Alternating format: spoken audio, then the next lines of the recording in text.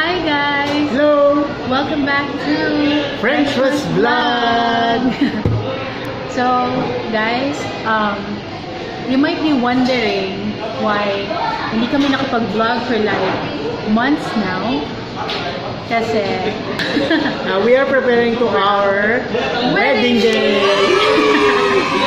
so, this is going to be exciting, guys, kasi it's our wedding. As you all know, Josh proposed to me last year. And that was my birthday, last August 25. mhm.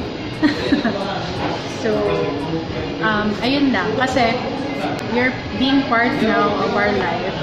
So, basically, what we do is, um, we, we are preparing for our wedding hindi kasi kum- kami kumuha ng coordinator kasi we want to have a wedding na parang parang hands-on. hands-on na parang merong ano, parang anong in-input mo, yung din yung output. So, yun. Siyempre, uh, we apologize kasi meron kaming na-promise sa inyo na vlog. Yung pumunta kami ng Manila tour.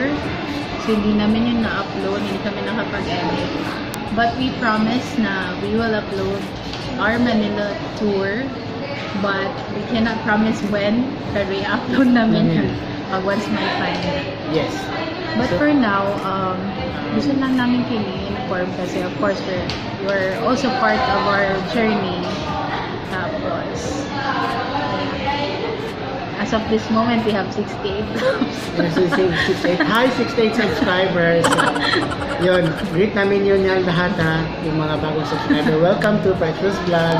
And we hope na marami kayong tutunan and share namin. Food So, vlogs. And, Hmm. but we promise we will get back to you once tapos na yung wedding na. uh, once tapos na, let's get back to our work. so, tips lang sa mga uh, gusto nang mag-wedding, uh, mag, ano, so engage into married life. Uh, number one, ikaw lalaki, dapat mag-ipon ka talaga. At least, siguro, uh, masasabi ko, as long as meron kang 80,000 pesos or 100, fights na yun. And then, yung mga, Kung ano, hands-on. kung hands-on kayo. Tapos, Kung mag-coordinator kayo, make sure na Make sure na 200. 200 to 200 to 250,000. So, yun, pero hindi naman dinidiscourage na. Hindi kayo magkuha ng Pag coordinator. once successful, Once successful, pag meron ka lang ano, ganito, pera, so okay lang wala problema.